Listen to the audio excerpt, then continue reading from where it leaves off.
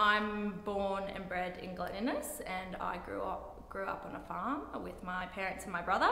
Um, and then I studied in Sydney at um, the College of Fine Arts, and I did a Bachelor of um, Fine Arts majoring in textiles.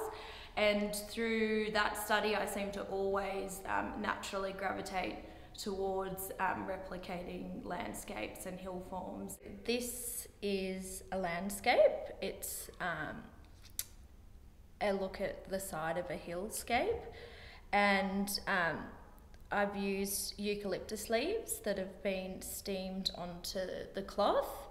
And then there's been, I've used some rusty bits through the bottom here, and I've followed this natural line that the dye's created in the in the cloth to outline the side of the hill, and I used silk pins to um, hold that line on the side of the work.